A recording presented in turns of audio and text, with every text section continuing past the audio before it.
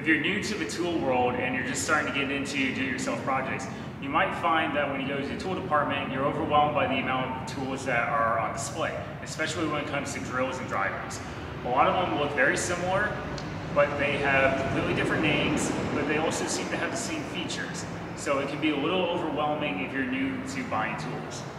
If you've ever done a home improvement project or ever used a drill, then you've probably end up handling a drill driver combination. These tools are great for doing any of your wood, plastic, or metal drilling, and then driving screws or bolts. Now what makes these tools great is the fact that they are all-purpose, but it doesn't excel in having to do anything more difficult than your standard stuff.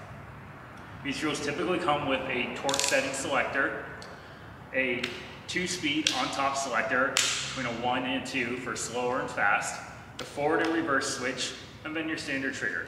And then sometimes they also come with an additional light, a magnet, and possibly a bit holder. They usually take sizes of anywhere from 0 up to a half inch for your bit size. Now the drill's flexibility in being able to take either the standard quarter inch hexagon or your standard round drill bit allows you to take various things besides just drill bits and standard driving bits. You could also put on, say, a paint mixer to be able to mix a gallon of paint real quickly. And the other benefit you have with the variable speed triggers that most drills come with and the torque selector is that you can do maximum speed while doing a limited amount of torque. So while the drill driver combination is a great all-purpose tool, it doesn't have the power that the impact driver has. So this is an impact driver.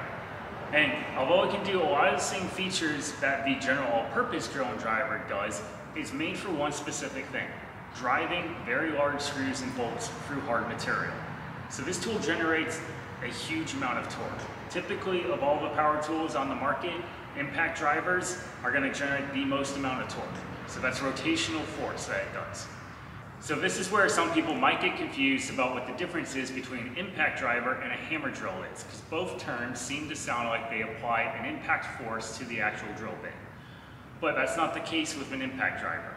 The impact driver produces its force in a rotational direction. So the way this works is that while it still rotates the bit, either forward or backwards, clockwise or counterclockwise, it also spins up essentially a spring on the inside. And this spring compresses, and when it releases, it produces an extra jolt of energy to rotate the bit just a little bit more in that direction you're going. So essentially imagine going at a slow speed, and then all of a sudden tapping on the gas and generating a large amount of power, and then immediately releasing going back to that speed you were going at before. This is what the impact driver does to help generate additional force to drive that bolt or screw into the hole. Another analogy to use is simply using a wrench. As you rotate the wrench around, imagine taking a rubber mallet and tapping on that wrench to produce the additional force in rotation. And that's how an impact driver produces even more rotational force than your standard drill driver. And while this tool can be used for drilling, it doesn't excel at that. The main issue on hand is that you cannot select a limited amount of torque. So it does have a variable speed trigger, and as you squeeze the trigger, you essentially get more torque, but you can't limit it. So when you squeeze the trigger all the way down, you will produce the maximum amount of torque possible that this tool can produce. With a drill driver combination, if I set it to say number 12 on the torque selector, even at full speed, it's only going to go up to the 12 torque ability. But if I put it at the 24, then I can generate the maximum amount of torque capable with that tool.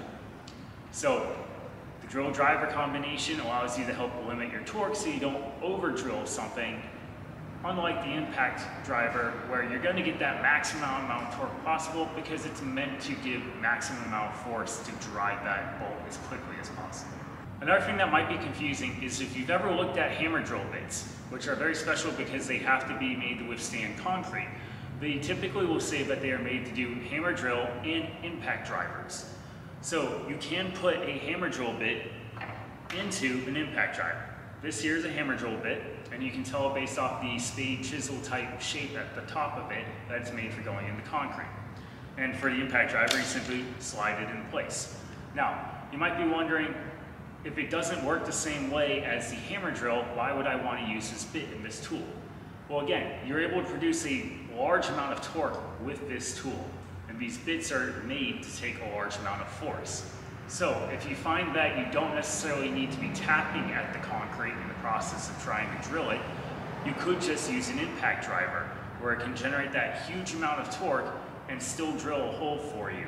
But you don't have the added benefit the hammer drill comes into play, which we'll talk about here in a minute. So another tool I'm gonna bring up as an honorable mention, because I don't have this tool, is an impact wrench. Now, if you're in the tool department, you'll see probably the impact driver right next to the impact wrench, and you might be wondering what the difference is. And really the only difference between these two tools is the type of attachment they take. Your impact driver has the ability to pop in a drill bit or just a standard driver bit, and your impact wrench will typically come with either a quarter inch or a half inch socket head on the top of it with no ability to take anything else. Now, if you don't want to buy both tools, you can get by with an impact driver and using one of these attachments, you simply put it in at the end and now you have your socket head attachment. You can get by essentially just with this tool, but at the same time, you have to realize that because you have to put an attachment on the tool gets a little bit longer, and you have the possibility that you might have the tool bit slip a little bit compared to your actual dedicated driver.